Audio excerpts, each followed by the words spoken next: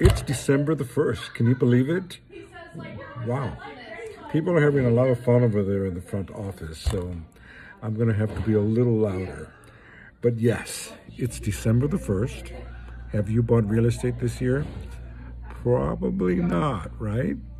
Well, it's not too late, but you need to get into escrow today. You could still do a 30 day escrow, but remember that we're probably losing four days during this month. So technically you have 26 day escrow. Because of the holidays, most places will be closed uh, two days for Christmas and two days for the New Year, probably. Or if you're doing cash, you can make a deal come through in 15 days. But if you don't fit into those parameters, start off 2023 by giving me a call.